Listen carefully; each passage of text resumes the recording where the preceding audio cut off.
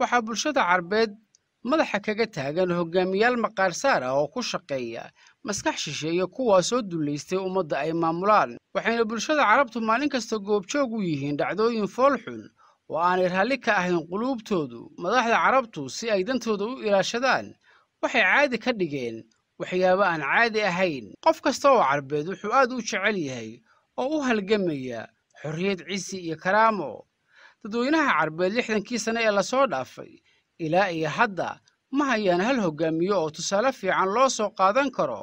Sidoo kale ma ay helin hoggaamiye ciso iyo sharaf uga tegey ummadda carbeed. Dunida kale markaad eegto dal kasta waxaad si fudud u soo helaysaa hoggaamiyaal dadkooda wax u taray oo dhaxal fiican uga tegey innagoo aan xitaa markhaati u soo qaadanayn waddamada reer galbeedka. Tusaale hindiya markaad eegto waxaad helaysaa laba hoggaamiye oo xilka isku wareejiyey.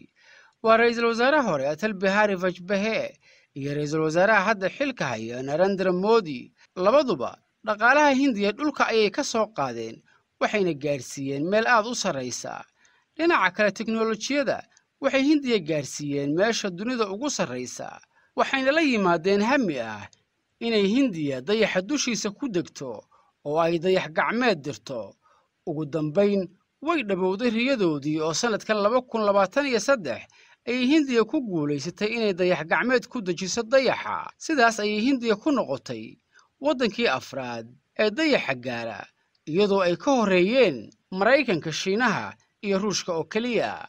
Turkiga oo aan horey u soo xusay waxaa kuu soo baxaya erdogan iyo xisbigiisa oo dalkiisa ka mid dhigay hormuudka dhaqaalaha dunida. Dalkiisana ka dhigay mid isku filan dhinac kasta iyadoo uu hadda turkigu marayo inuu samaysto wax kasta sida hubka noocyadiisa kala duwan gaadiidka dagaalka sida diyaaradaha dagaalka gujisyada dagaalka maraakiibta dagaalka maraakiibta xambaara diyaaradaha ilaa baabuurta raaxada noocyadooda kala duwan oo hadda gudaha turkiga lagu farsameeyo. Bakistan waxaa kuu soo baxaya.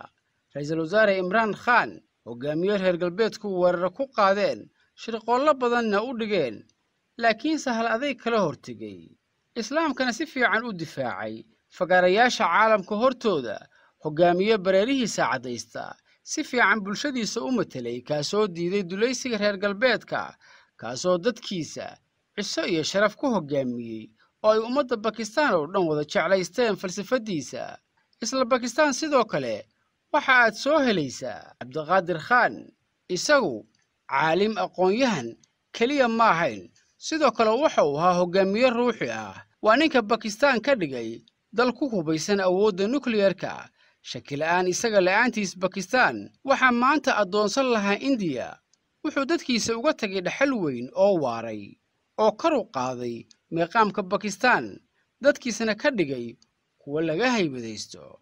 Maleysiya waxaa tusaale u soo qaadan kadhaa ra'iisul wasaare mahatiir maxamed. Horumarka uu gaadhsiiyey dalkiisa maleysiya maleysiya oo bulsho beeraley faqiira ahayd ayuu ka dhigay waddan warshadlee ah oo soo saara waxyaabaha teknolojiyada wuxuuna bulshadiisa u jiheeyey aqoon iyo shaqo adag oo ay dunida kale kula tartamaan. Dhaxalkiisina maanta waa mid ka muuqda maleysiya oo dunida maqaam sare ka joogta.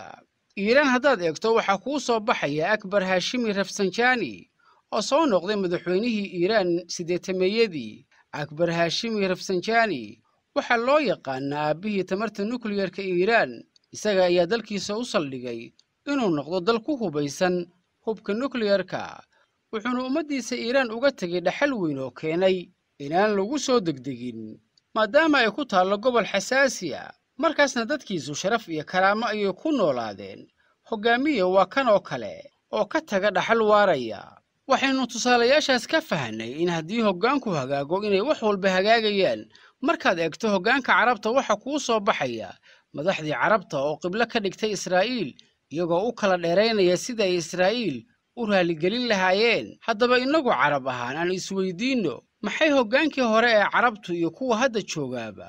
Ay dhaxal uga tageen ummaddooda. Waa su'aal ka jawaabiddeeda lagu daalayo laakiinse ku soo dhammaanaysa eber.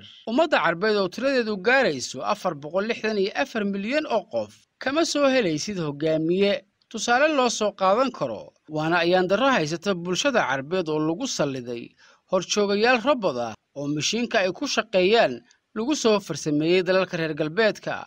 Haddii aan iskhasbo oo aan indhaha isku qabto hoggaamiye carbeed oo mar go'aan geesanimo leh qaatay.